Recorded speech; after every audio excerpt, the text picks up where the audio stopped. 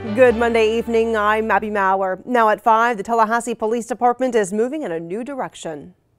And that I will well and faithfully perform the duties of police chief, the duties of police chief, which office I'm about to enter. which office I'm about to enter. So help me God. So help me God. Today marks the official start to a new era for the Tallahassee Police Department and City of Tallahassee. ABC 27 Chantel Navarro was at Chief Revell's swearing-in ceremony. She joins us now live from police headquarters. And Chantel, what did you notice about today's ceremony? Well, it was packed with positivity. Revell is now the 17th police chief of the Tallahassee Police Department. I see a future where our officers understand and practice humanity in our authority.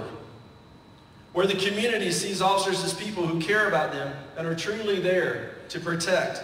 Tallahassee's new chief, Lawrence Revell, focused on the future with faith leaders by his side. Bless you, Chief, your lovely wife, and children and family. The journey to get here has not been the smoothest, but support is growing. It feels good, and I think that was evidenced today just by the attendance. There were hundreds of people here today. Uh, many of our faith leaders, our law enforcement community, just members of our community in general. Leaders across the city in his corner, like Mayor John Dailey and Commissioner Curtis Richardson. Chief Revell is going to be absolutely amazing.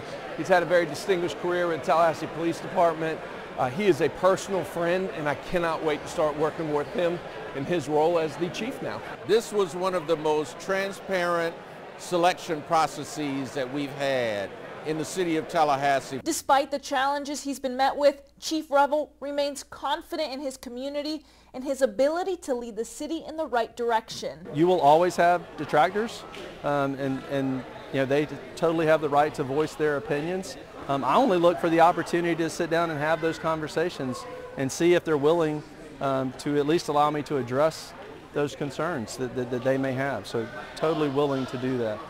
My face hurts from smiling so much. Just a, an amazing turnout from the community.